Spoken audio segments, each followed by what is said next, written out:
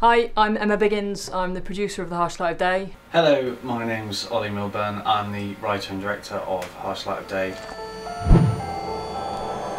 I met Ollie uh, when we were doing a master's degree. Uh, I was doing a master's in producing film, and Ollie was doing a master's in directing film at Bournemouth University. And I think it came across quickly that we were kind of on the same wavelength with with each other, and we wanted to make the same films. And we kind of quickly became quite comfortable with each other.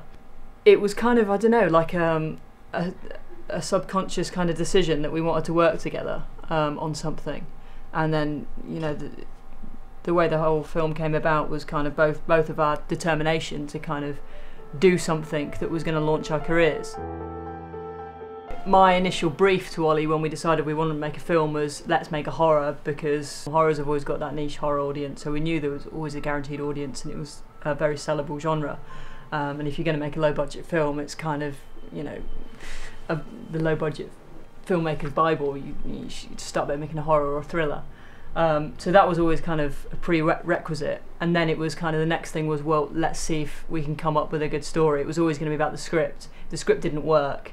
Um, there wasn't going to be any point in making it. We knew we weren't going to be able to raise very much money. So what money we could make, we'd have to shoot it on. So we knew it was going to have to be a low budget idea, but it had to be a really strong idea. Otherwise, what was the point? You know, we'd never we'd never sell it. There's often an assumption that writing is the easiest part, and you can just do it. Oh, I'll I'll put the script together, and and then we'll go out and shoot it. And and you know, it really isn't uh, like that. You know, there are a million ways to make a film, but the only one which I think is universally true is that you know you need a, a good script or a good idea for how you're gonna if you're improvising it how you're gonna improvise it or you know whatever.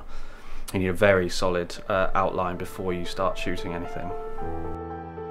If you start working on a film with someone and within a couple of weeks you're sort of getting on each other's nerves that's probably not a very good Yeah. sign and you should maybe you know rethink the the working relationship or the relationship uh, you know whatsoever.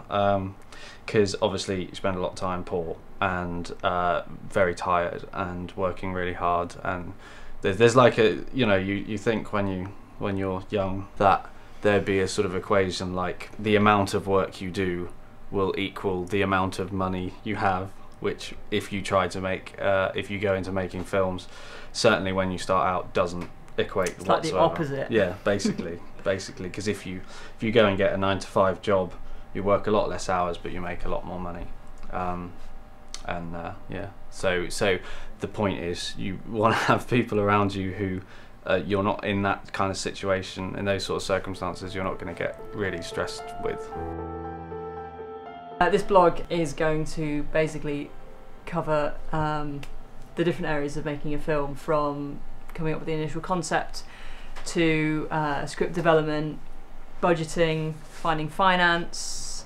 Uh, production that's smooth wasn't it production uh, which you know with cast and crew um, and then post-production editing and all that um, uh, pickups which we had we had a few for harsh light and then um, possibly touch on selling a bit although that's the big adventure we still have yet to do but you know, we like everybody does first time around. We made a lot of mistakes, and hopefully we can cover some of those, and hopefully, um, yeah, reflect not just on the harsh light of day, but reflect on our filmmaking process as a whole, and how if we would do it again, we would do it differently.